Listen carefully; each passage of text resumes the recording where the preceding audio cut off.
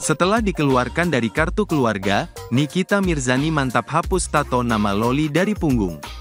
Usai keluarkan nama putri sulungnya, Laura Meizani Mawardi alias Loli dari kartu keluarga, kakak, Nikita Mirzani kini mantap hapus tato namanya dari punggung. Seperti diketahui, hubungan ibu anak antara Nikita Mirzani dan Loli tampaknya tak bisa diselamatkan lagi. Tak hanya dihapus dari kartu keluarga, Nikita Mirzani pun juga mencoret Loli dari hak ahli warisnya. Terbaru, kini wanita yang kerap disapa Nyai ini terlihat menghapus tato bertuliskan nama Laura dari punggungnya. Tato nama Loli di punggung Nikita Mirzani itu berada di dalam gambar berbentuk hati disertai gambar malaikat dan setan.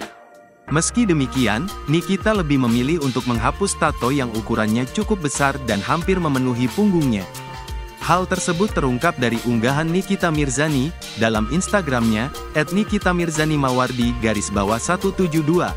Sontak, postingan Nikita Mirzani pun menuai beragam spekulasi dari publik. Tak sedikit yang beranggapan bahwa aksi dari mantan istri dari Antonio De Dola menghapus tato tersebut sebagai bentuk rasa sakit hatinya dengan Loli.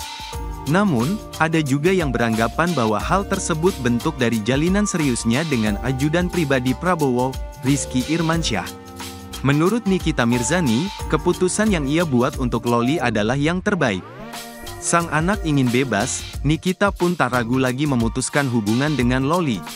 Akhirnya itu keputusan yang terbaik. Itu yang dia inginkan, kebebasan, padahal orang tuanya inginnya yang terbaik untuk anaknya, paparnya. Meski begitu, Niki berharap suatu hari nanti Loli akan mengerti bahwa apa yang dilakukan sang ibu adalah demi kebaikannya.